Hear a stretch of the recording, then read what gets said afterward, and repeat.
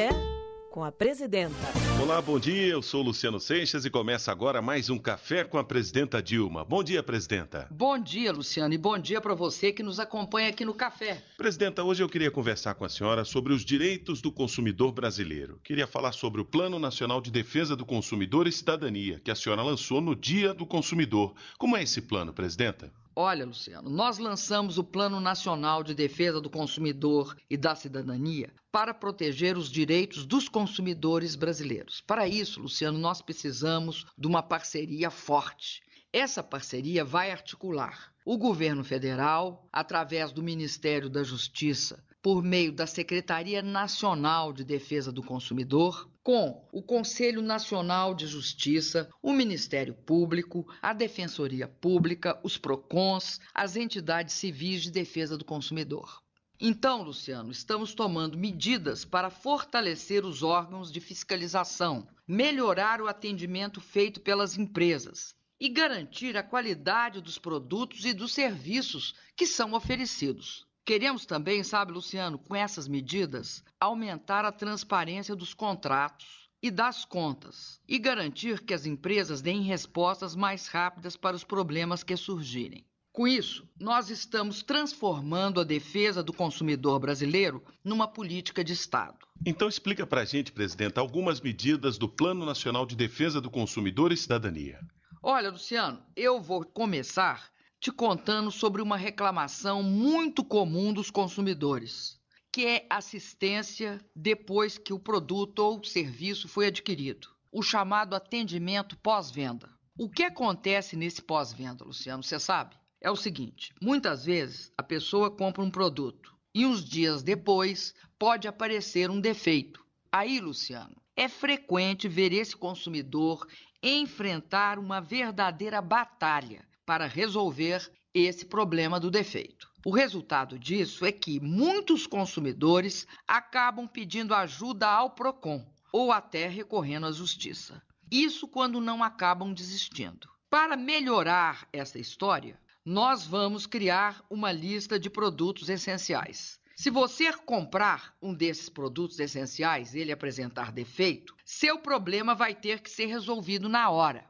Depois que essa lista de produtos essenciais for divulgada, as empresas vão ter de fazer a troca ou devolver o dinheiro ao consumidor imediatamente, sem que ele precise procurar o PROCON ou a Justiça. Já aqueles produtos que não são essenciais, nós vamos construir uma política de estímulos à criação de assistência técnica no país o que é muito importante para o consumidor, mas também que garante emprego e renda para muitas pessoas que participarem da atividade de assistência técnica. E as compras feitas pela internet, presidenta? Olha, Luciano, nós também estamos criando regras para as compras feitas pela internet, o chamado comércio eletrônico. Nós vamos dar transparência para essas compras e definir as regras para o direito de arrependimento que o consumidor tem isto porque, Luciano, muitas vezes o consumidor compra um produto e, quando recebe esse produto em casa,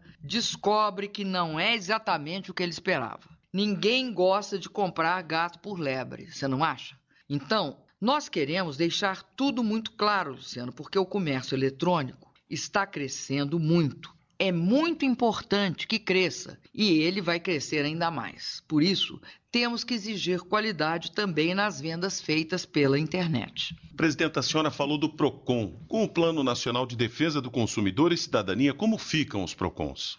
Olha, Luciano, nós decidimos fortalecer os PROCONs, porque eles são muito importantes na defesa do consumidor. Eu enviei ao Congresso um projeto de lei que vai ampliar o poder dos PROCONs, para que os PROCONs possam, por exemplo, determinar a uma empresa que devolva ao consumidor o dinheiro cobrado a mais numa conta.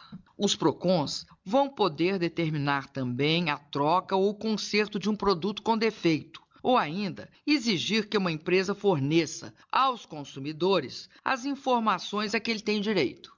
Então, se a gente fortalece os PROCONs e suas decisões, a gente diminui os processos que vão parar na justiça. A gente acelera soluções e ainda estimula os acordos diretos feitos entre consumidor e empresa. Presidenta, esse plano também vai melhorar a fiscalização das empresas que prestam serviços públicos, como telefonia e energia elétrica? Isso vai ser feito, Luciano, por meio das agências reguladoras, que têm o dever de garantir a qualidade, a segurança, a transparência e a regularidade desses serviços.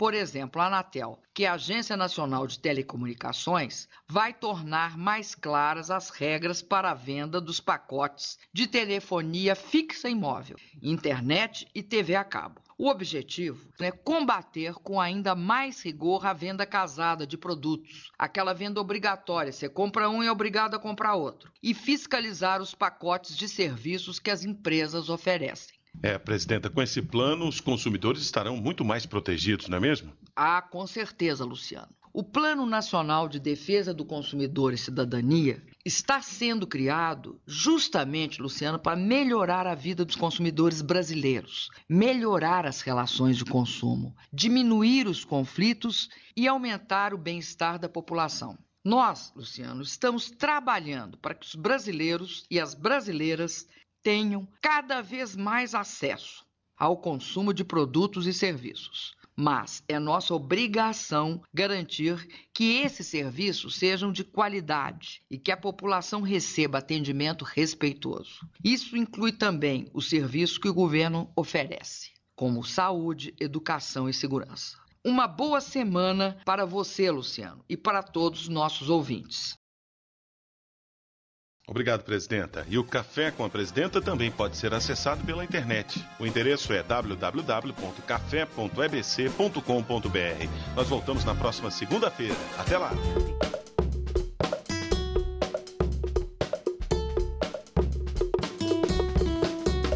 Café com a Presidenta.